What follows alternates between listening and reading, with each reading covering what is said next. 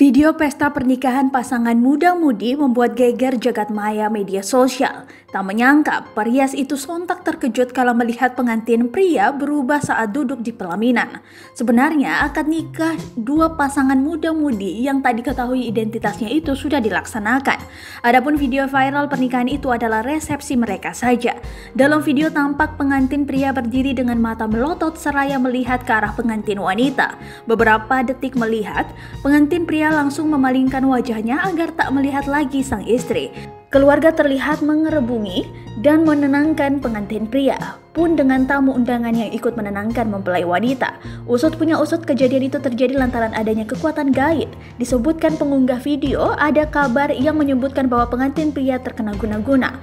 Hal itu yang membuat pengantin pria seolah takut dan ngeri melihat wajah pengantin wanitanya. Menangis pengantin wanita hanya bisa duduk pasrah melihat suaminya berubah sikap.